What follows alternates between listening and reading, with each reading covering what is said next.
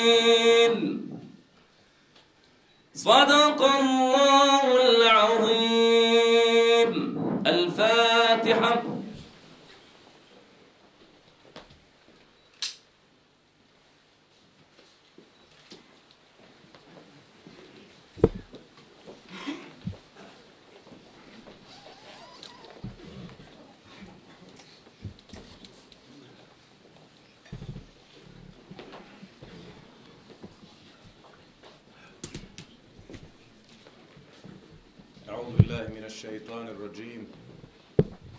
بسم الله الرحمن الرحيم. الحمد لله رب العالمين والصلاة والسلام على أشرف المرسلين محمد صلى الله عليه وسلم وعلى آله وصحبه أجمعين. Sestre, Assalamu alaikum wa rahmatullahi ta'ala wa barakatuh. Hvala svevišnjem gospodaru svjetova, milostivome i samilosnom, što nam podari istinu, istinu vjere, istinu morala, istinu sunneta Muhammeda sallallahu alaihi wa sellem, i podari snage i upute da budemo na putu njegovom. Hvala njemu svevišnjem što nas počasti i današnjim danom. Kako bismo evo ovdje na ome mjestu, u ovoj istoj prostoriji u kojoj smo prije tačno pet godina na zasjedanju Sabora Islamske zajednice usvojili historijske odluke o jedinstvu islamske zajednice.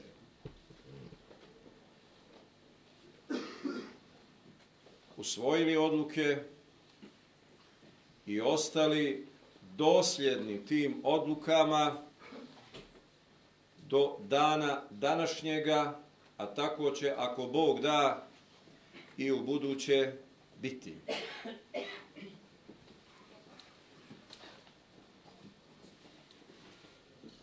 Imali smo prilike za ovih pet godina da doživimo i proživimo.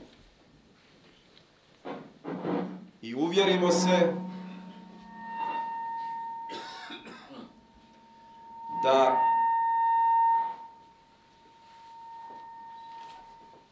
i uvjerimo se da sve što vrijedi mora proći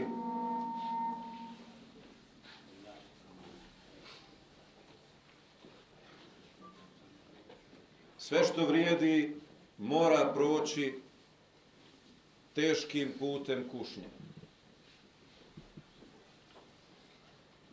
Allah Đelešanuhu nas je na to upozorio u svom kuranskom ajetu e nasu an yutraku an yutraku an yaqulu amanna wa hum la yuftanun Zar misle ljudi da će biti ostavljeni da kažu vjerujemo, a da ne budu iskušavani?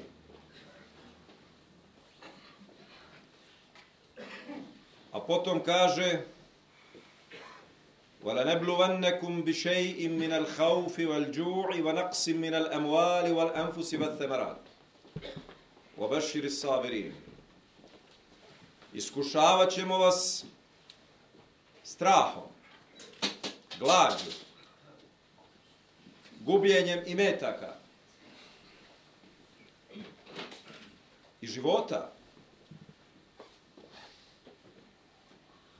i obraduj strpljive. Dakle, to je najava svevišnjeg gospodara koji nas podučava svojim istinitim riječima koji nam ukazuje na to da čovjeka čine čovjekom vrijednosti. Čovjeka čine čovjekom one vrijednosti koje sam svojevoljno odluči da gaji u svome srcu i koje odabere svojim razumom slobodno, bez pritiska i potkupljivanja. To čovjeka čini čovjekom. Ono što sam čovjek ne bira,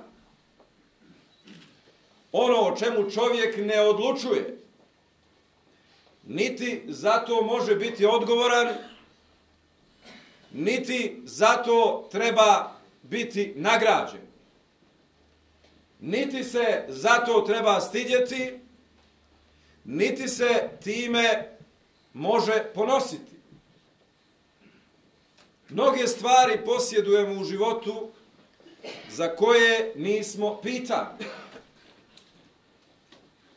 Gdje, kada, u kojoj etničkoj zajednici, od kojih roditelja ćemo se roditi, kako ćemo izgledati, koju boju kože ćemo imati, visinu i neke druge pojedinosti.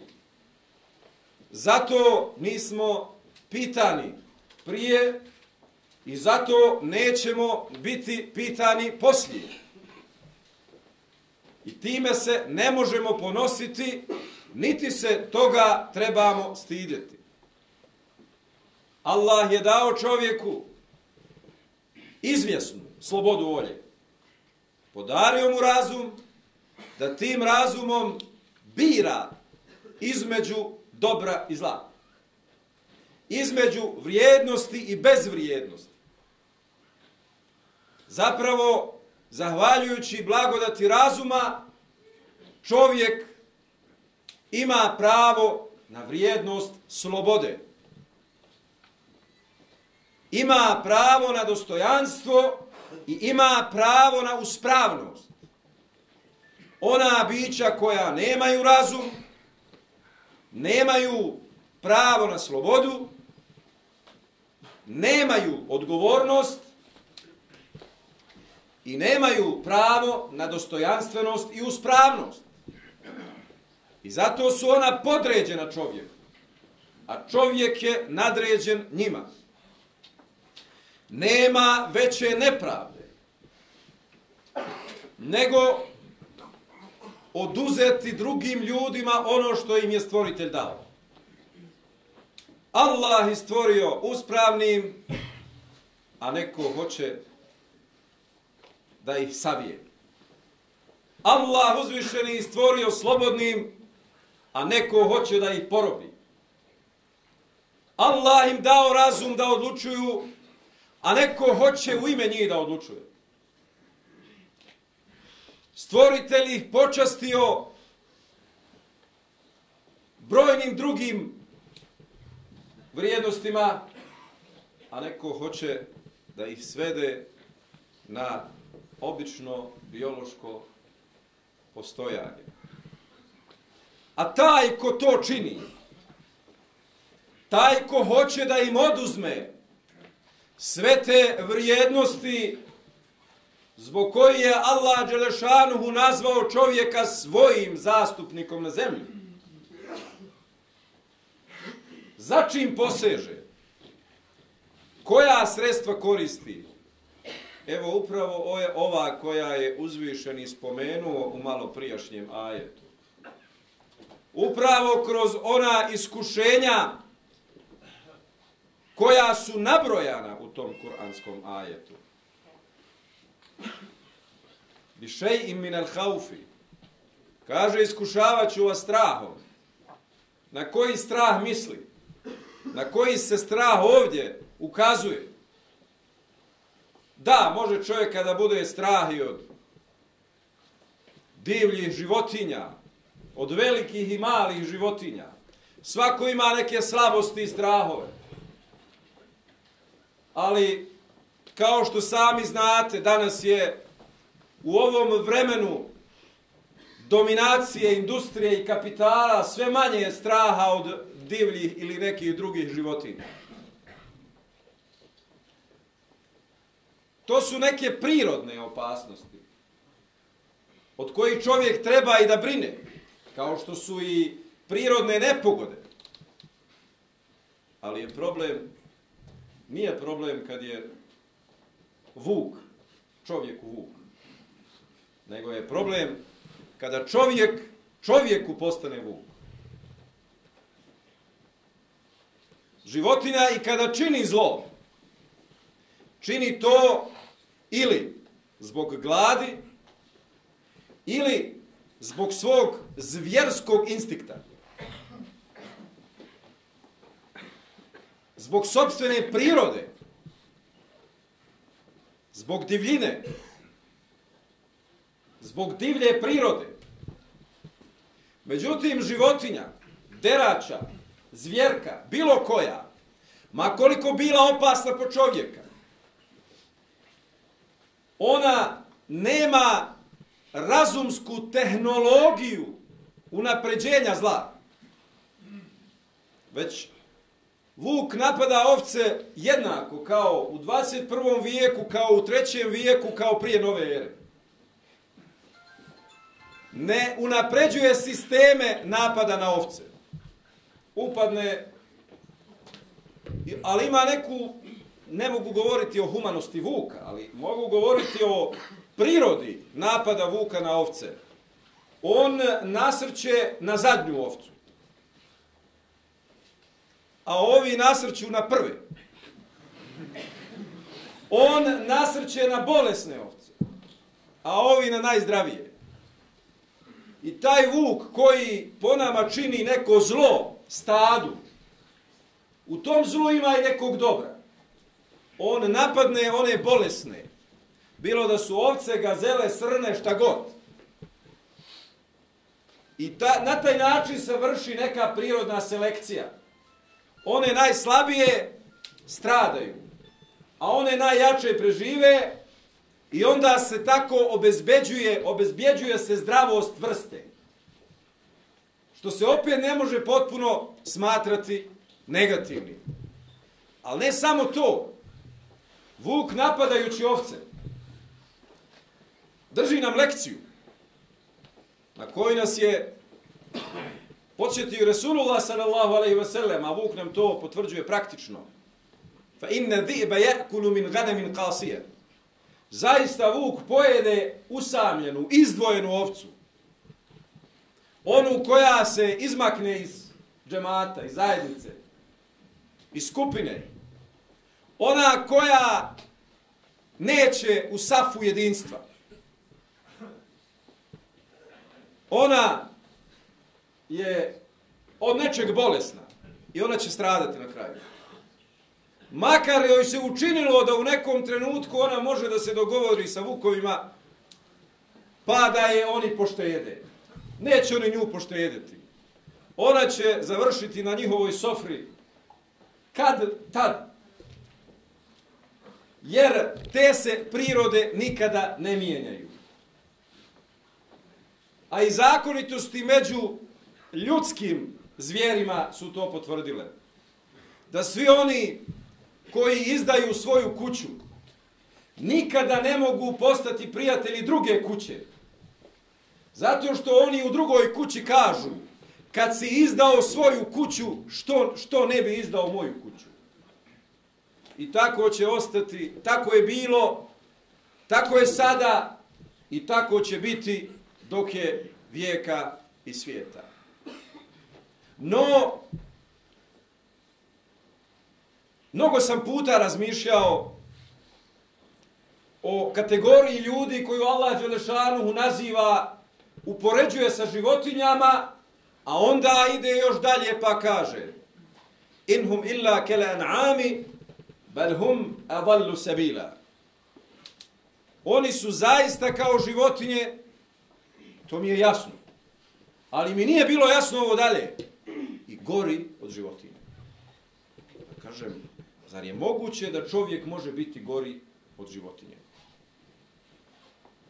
Nažalost, posljednje decenije događanja u našem okruženju su me uvjerile tako neposredno u događajima među mojim narodom i nad mojim narodom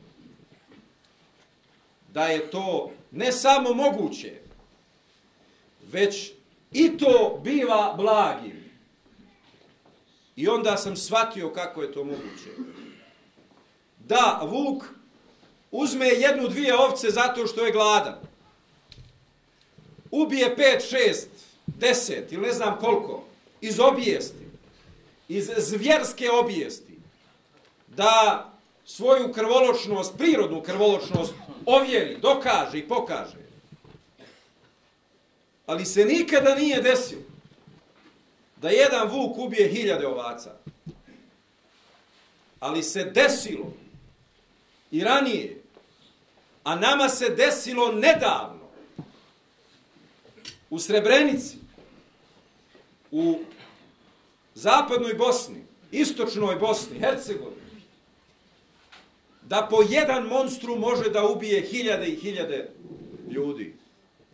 Desilo nam se 43. u Limskoj dolini. I ne samo da nam se desilo u Limskoj dolini, već danas pojedini političari koji sebe nazivaju europskim političarima, uz glasni pristanak ili šutnju naših takozvani političara najavljuju rehabilitaciju i podizanje spomenika onima koji su predvodili pohode masovnog ubijanja bošnjaka u Limskoj dolini. Imali smo hađet na kome je jedna, jedan čovjek, grupa ljudi ili jedna ideologija ubila na hiljade ljudi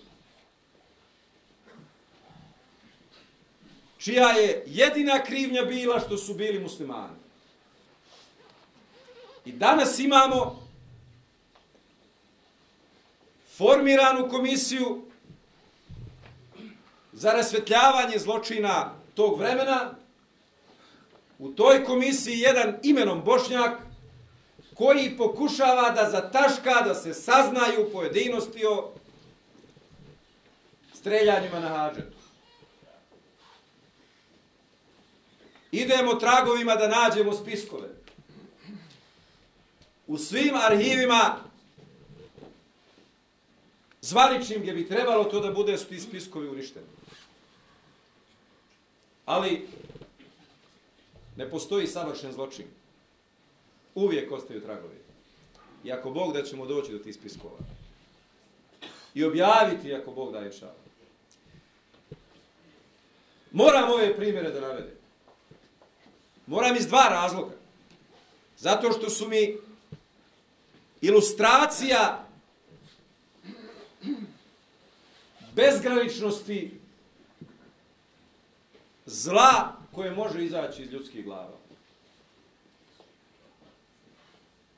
Ali ne samo zato. Postoji pozitivna poruka i konotacija ovih primjera.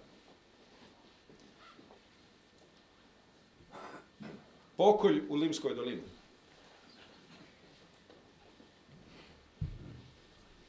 Genocid u Limskoj dolini. Genocid na Hadžetu. Genocid u Srebrenici. A evo nas danas ovdje. Uspravni i ispravni. Vedrih čela i odlučni. Gledamo direktno u oči Allahovim porukama Kur'ana i Sunneta koji nam je poručio da cijeli svijet ustane da nam učini zlo. Ne može nam učiniti ako on to ne dozvoli. I obrnuto. Allah je htio da mi ostanemo i opstanemo. Preživimo. Ali ne samo preživimo. Preživimo i oživimo. I oni su pristali da mi preživimo u nekoj formi biljke. Vegetira, ne pomjera, raste kako je zaliješ. Da oni odlučuju kolika će biljka da bude, kad će da joj posjeku grane, da li će od nje da prave ukrasnu živu ogradu ili nešto drugo. To je bio plan. Trebalo je da se svedemo na folklornu kategoriju. Na egzotiku. Da kažu, evo imamo tamo mi neke muslimane, pa onda umjesto da idu u daleke istočne zemlje da osjete miris istoka ili da plaćaju skupe turske serije, trebalo je da dođu ovdje u Novi Pazar i kažu da imamo najljepše ćevape. Ima tamo jedna mala zajednica koja je nekad davno nosila dimije, tako imaju neke munare koje ćute. I onda imaju neke ljude sa Ahmedijama koji bi onako postali kao turistički vodiči pred džamijama da kažu ponešto o tim džamijama. To je bila prihvatljiva islamska zajednica. To su bili prihvatljivi muslimani.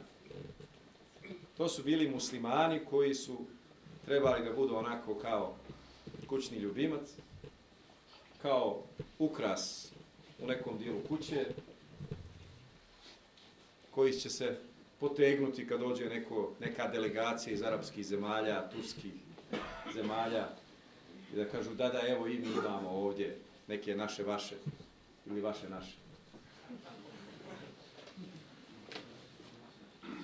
Međutim, sve su izračunane.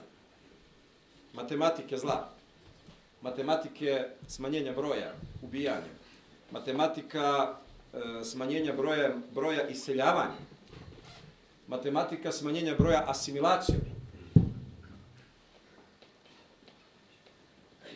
ali nisu izračunali e, matematiku pojma islam i suštine islama. Jer su njihove matematike materialističke. I oni ne vjeruju da postoji neki drugi svijet koji ne može da se vidi i da se dotakne rukom. I zato što ne vjeruju, oni su bili uskraćeni da sve to izračunaju. I onda kad su baš očekivali da to odumre, da nema više nosioca šehadeta, bajraktara šehadeta, u tom trenutku je Bog. Ko zelena trava, ko ono šivlje, mlado, mladice, iz nečeg što su smatrali da odumire. Nama vjernicima to nije čudo, jer je to Allah Želešanu nama davno obećao. Obećao je da neće do, odbiti dovu, iskrenu dovu nikada. Ud'uni astajib lakum. Inna Allaha la yuhlifu al-mi'ad. Allah nikada ne krši obećanje. I baš na ovom parčetu zemlje, natopljenom šehidskom krvi boraca, džurumlija, raznih drugih bajraktara istine, u raznim vojskama, uniformama, ali uvijek na strani istine, pa makar i pod pogrešnom zastavom, sa iskrenošću i sa iskrenim nijetom u srcu za istinu. Na zemlji koja predstavlja simbol vakufa u Evropi. Vjerujte da ne postoji veće koncentracije vakufa ni na jednom dijelu Bliskog istoka kao što je u Sančaku. Jako malo je spašenih vakufa. Ali i oni vakufi oteti, dišu, mi to ne znamo, ali oni dišu. Oni pulsiraju i čekaju svoje oslobodioce. Dova vakifa koji su preselili na Ahiret prije nekoliko stotina godina još pulsira i čeka čeka oslobodioca. I to je naša šansa. I baš na toj zemlji ponovno niču sinovi i kćeri koji se ne boje taguta, koji se ne boje tirana, ni jednih, ni onih brutalnih koji su nam postavljali topove iznad pazara, a ni ovih prepakovanih u žute i druge boje, koji se ne razlikuju od onih prvih. A to su potpuno jasno pokazali i dokazali. I baš na ovome parčetu zemlje raste nova generacija sinova i kćeri koje neće uspjeti da uplaše svojim jadnim ucjenama, prijetnjama, po imetak, po posao, po dućan. Baš ovdje rastu, rađaju se i rastu sinovi i kćeri, koji neće biti potkupljeni od dokazanih dušmana. I baš ti, sinovi i kćeri, predstavljaju novi talas slobode, bošnjaka, muslimana, ali ne samo njih, već i svi ljudi koji će prepoznati bajrak istine. Jer istina donosi slobodu, a sloboda treba svakome, ma koje vjere nacije bio. Istina koja vrije iz vjere Islama. I sva historija posljednjih 14 stoljeća pokazala je da tamo gdje viori, gdje vi hori bajrak istine Islama, nema zuluma ni za koga. Evo čak i mimo imperialne moći Islama, uslovno rečeno imperijalni. u ovom našem lokalnom halu posljednje dvije decenije pokazali smo da tamo gdje je nastala neka institucija, ustanova, sistem, napojen na šehade tu istini, tu nije bilo nasilja i nepravde. Bez obzira na sve razlike ljudi koje postoje. Baš ovdje. Baš na ovom parčetu zemlje. Rastu sinovi i kćeri koji neće dopustiti da budu prevareni. Jer za prevaru treba dvije strane. Varalica i prevareni. Nek bude na milion varalica. Ali ako prevareni ne prihvati prevaru, nema prevare. A za prevaru je potrebno jedno od dvije stvari. Maloumnost, a ovaj narod nije malouman. Iako njegovi dželati i njihovi saradnici se obhode prema ovome narodu kao da je malo uman. Šalju mu neke smiješne poruke koje bi po meni shvatila i mala djeca. Pogotovo ova sadašnja mala djeca su nešto mnogo dovitljiva i pametna. Nit možeš da ih obraduješ sa jednostavnim igračkama, nit možeš da ih prevariš sa šarenim lažama. A oni ne samo da šalju takve poruke djeci, već odraslima, svih generacija. I nakon svega što su činili ovom narodu, kažu narode, mi to vama jesmo činili 22 godine, ali evo sad ćemo da vam kupimo šarenu lažu. I očekuju da neko pomisli da ta šarena laža nešto vrijedi. Da, naš narod je mudar. Neće odmah ni da im kaže da neće. Nego se onako smješka, malo se ko predomišlja, pa se njima učini ko da im je šarena laža prošla i prevara gotova. A to sve im uzvišeni pravi da im ogorčenje poraza kad vakad dođe bude žešće. Jer ko se nečemu nada, a kad dođe vakat, kako će da ih zabole džigerice? Kako će da se suoče sa porazom?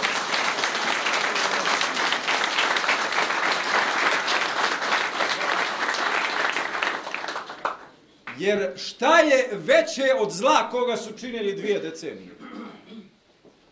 Omalovažavanje naroda ovom sada komunikacijom i porukom koju šalju ovome narodu. Ovdje rastu sinovi i kćeri i sve ih je više i više. Koji nikada ne, mor, ne mogu vjerovati tuđeme kao svome. Hoće da nas ubijede da je da nam tuđim bolje misli, no mi sami sebi. Zamisli, gdje to ima? Pa to ni totalitarne ideologije nisu na takav način činile.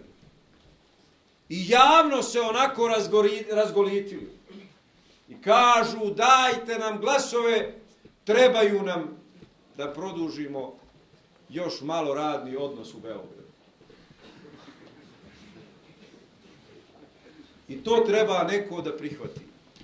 Neće niko, uvjeren sam ako Bog da. I jedva čekam da se to potpuno demaskira. E sada vam je jasno zašto su pohrlili na islamsku zajednicu. Zašto su pohrlili na vakufsku imovinu?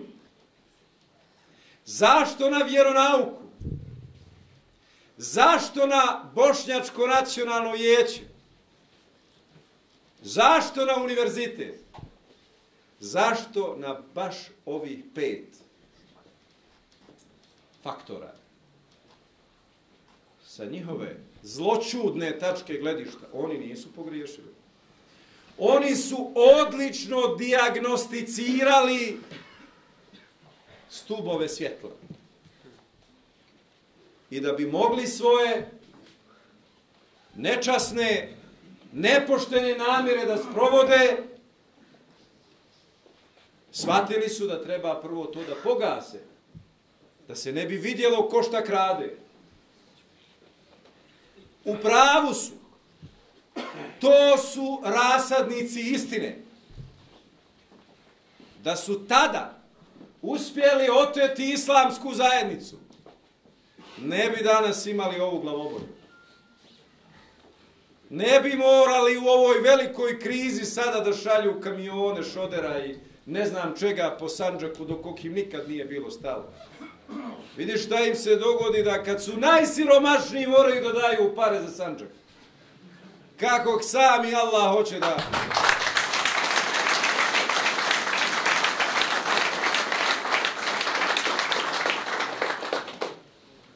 A to je tako uvijek bilo. Kad ne platiš, kad je vakat, platiš kad je najteže. A ovo je samo početak da plaćaju. Vjerujte, plaćat će i pitati treba još. Jer tuđi hak se uvijek vrati. Pravo i okolo. A okolo je uvijek dalje iskupljeno. Svatili su oni da u islamskoj zajednici niču niče ono najzdravije. I da je to bio stup našeg opstanka stotinu godina. Pa kad se to oplemenilo savremenim sistemom obrazovanja, od dječjeg vrtića do fakulteta, preko medrese, onda su vidjeli da im se otima iz ruku. I tačno godinu dana prije agresije na islamsku zajednicu, onaj njihov navodni ekspert za islam, što ga je uhvatila nervoza u zadnje vrijeme, reče, kaže, država mora uspostaviti kontrolu nad obrazovnim sistemom islamske zajednice. Jer bi čudo malo previše agresivno. Godinu dana prije agresije na islamsku zajednicu. I zapravo to što se desilo prije četiri i pol godine kao posljedica objedinjavanja islamske zajednice ili kao odgovor na objedinjavanje islamske zajednice od strane režima, bio je pokušaj kako su oni rekli uspostave kontrole, a u stvari otimanje. Naravno da su nasrnuli na vaku, jer znaju da je to historijska žila kucavica opstanka dobra. Jer su muslimani opstali zahvaljujući vaku. I oživljavanje vakufa je za sve dušmanske projekte značilo najavu pada njihovih projekata. Naravno da su nasrnuli na vjeronauku. Zato što ulazak istine u škole razgoni marksistički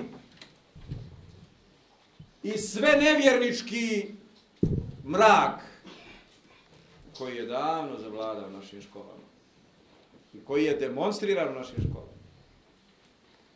E zamislite kad je njima postao problem jedan vjeroučitelj. Ali je nekada dovoljna jedna svjetiljka, zato što ona obasja i okolo. I islam je baš takav. Njemu ne trebaju velike šanse. Islamu je dovoljna mala šansa.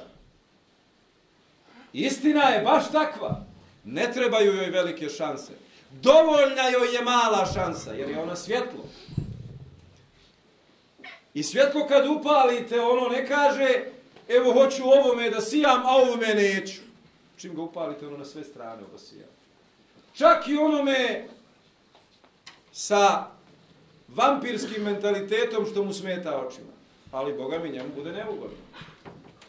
I može da ugrozi njegovo postojanje. Ali je svjetlo izdašno. Nije sebično. Nije selektivno. I istina je izdašna. Kao sunce. Grije na sve strane. No nije jednak efekat sunca kada grije na cvijeće, na ruže i na nečiste. Nije isto. Ruže mirišu, a nečiste. Drugačije.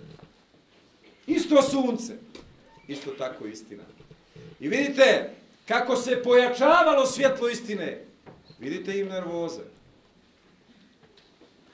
Vidite kako pričaju ovi fini ministri naši, tamo naši. Gore u Beogradu su, kaže, fini, mnogo fini uljudni. I stvarno uljudni. Sve do im ne pomeneš nas, kad im naš pomeneš nervoza. Struja.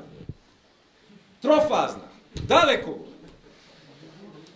Da, jest. Jer ih ona podsjeća, ova istina im raskrinkava njihovu prirodu.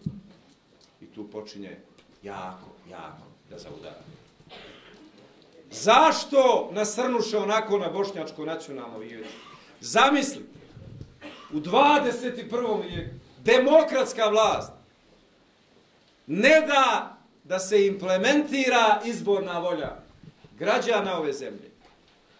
Evo sada se to pokazalo zašto. Zato što to nacionalno vijeće ne bi potpisalo sporazum o podršci režimu na ovim izborima objavljuju takvu sramotu da je vladajuća partija u ovoj državi postigla sporazum da je nacionalni savjeti podrže. Zamislite, nacionalni savjeti koji su organi etničkih zajednica ili manjina, koji nisu političke partije, naj običnija zloupotreba, a u stvari nama samo potvrda da su ti koje su oni priznali samo njihove ekspoziture. I da su oni hteli takve.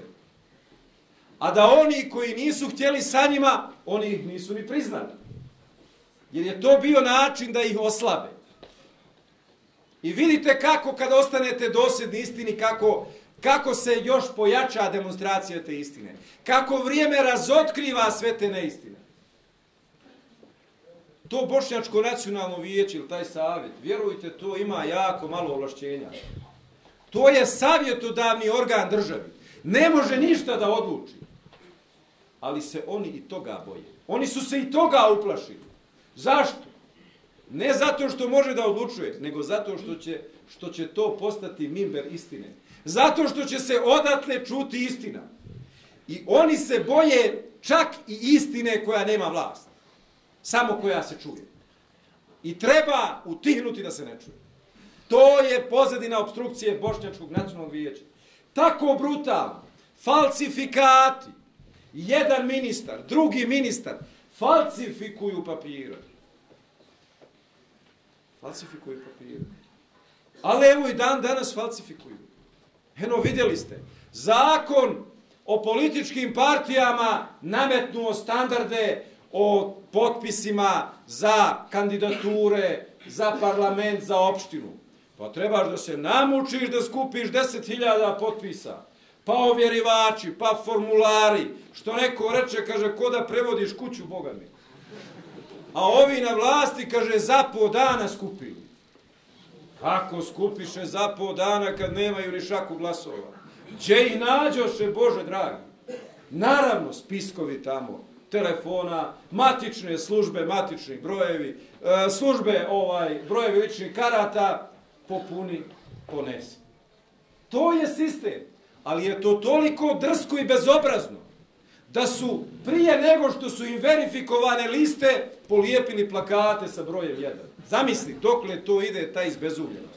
Naravno, to je panika kojom se želi zastrašiti, kojom se želi nametnuti efekat kako su oni dominantni.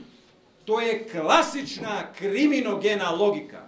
Jer kriminalci hodaju u čoporu, prave efekat straha da bi im se ljudi sklanjali s puta.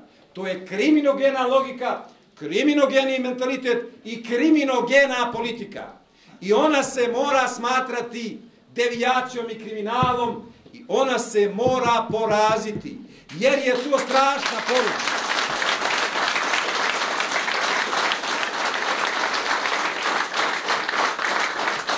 Jer znate, lopovluk dok se god krije i nije opasan, ali kad se lopovluk počne demonstrirati moćno, to je opasno. A to vam je ovo. Jer njihova poruka je, može nam se, šta nam ko može.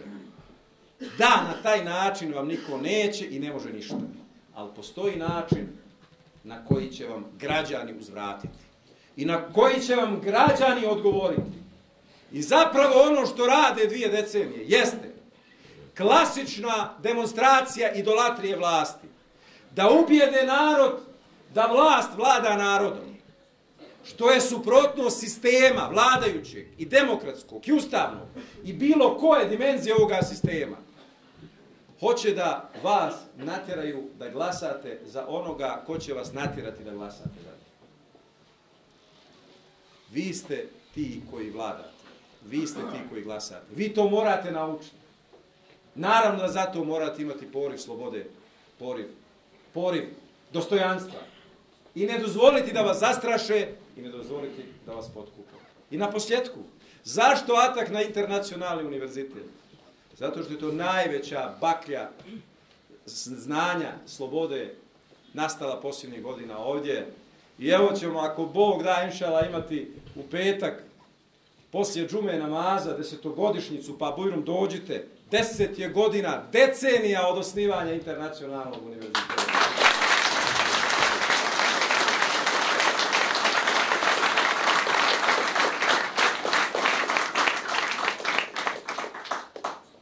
Decenija zrelosti, decenija snage i na hiljade svršenih studenta, diplomaca, već intelektualaca, magistara, doktora, mastera, ali iz te vojske umnih ljudi, jako mnogo onih koji ne mogu da kupe i ne mogu da zastraše. I to je upravo izvor njihovog straha. Kasno, zaista im je kasno. Neće im ako Bog da uspjeti niti ova, niti jedna spletka koju, koju pripremamo. Zapravo i ovih pet godina našeg strpljenja, Allah reče, malo prije sam citirao Bešir i Sabirin, obradu i strpljive. Allah nagrađuje vaše strpljenje. Ovo što ste vi izdržali ovih pet godina, ovo što ste vi izdržali ovih 20 godina, ovo što ste vi izdržali ovih 100 godina, je zapravo toliko nagomilano pravo na radost. I zato vam uzvišeni kaže Bešir i Sabri. Obraduj, vi imate pravo na radost. I dan radosti se primiče. Vrijeme radosti se primiče.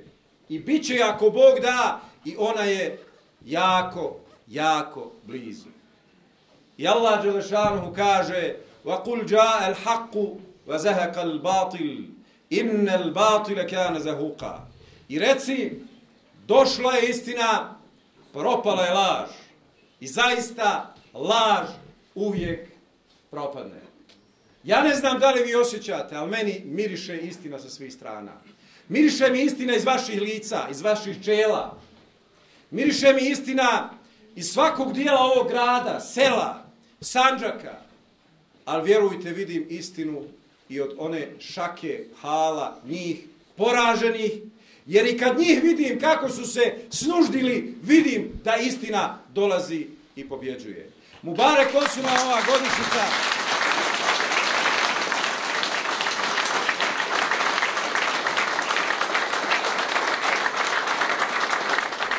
Mubarek olsun vam ova petogodišnjica. Mubarek olsun vam ovih pet godina držanja vreloga gvožđa u ruci.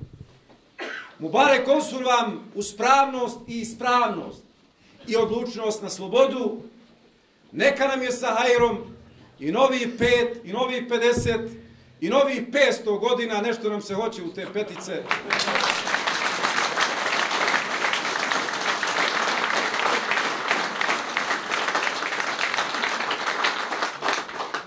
I svaki puta kada mi se pomalo učinilo da se zamorim, pa budem imao ovakav skup sa vama, pa pogledam lijevo, desno, pravo, svu ovu šarenolikost, pa kažem, kad može taj naš Efendija, Džematlija, iz Plava, Rožaja, Pljevalja, sa Bihora, Petnice, Berana, Tutina, Peštera, Priboja, Varoši, Prijepolja, Brodareva, Komarana, dalje ovaj Sjenice, Kladnice i Pazara i okolice, da evo radi samo ovog jednosahatnog druženja, ovakvim povodom dođu, ostave svoje porodice, proputuju, doputuju i otputuju. Pa onda sam kazao, upravo u tom našem čovjeku stanuje ta naša energija, kojoj ne može ništa, ni Beograd, ni Podgorica, ni bilo kakve spletke političko-pravne, ni bilo kakvi projekti koji imaju za cilj da tog našeg čovjeka porobe. Svi su oni slabi za tog našeg čovjeka i njegovu snagu, vjere u srcu i njegovim porivom za slobodu. Esselamu alaikum wa rahmatullahi ta'ala.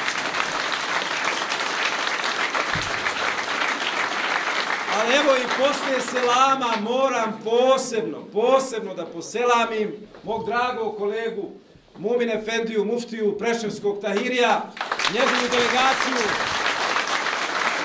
njegovu delegaciju iz Preševa, koji uvijek da bi došli do pazara moraju okolo, ili južno okolo, ili sjeverno okolo. Ali oni ne žele taj trud i dolaze ovdje da su i dalje nas na liniji jedinstva kao prije pet godina, da su naša braća i da će tako i ostati. Esselamu alaikum wa rahmatullahi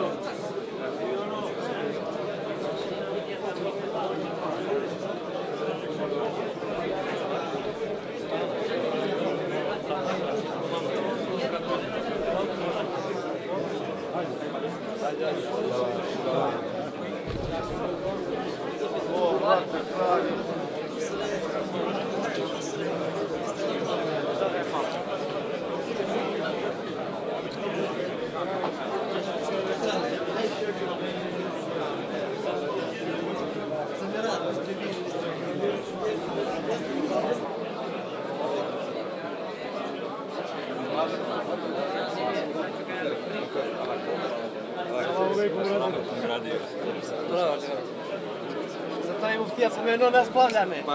Počeo. Stalno. Ajde, Efendija. Još se držite dobro. Ka momak. Inšala. Znači, Efendija, moj dragi. Ugodni.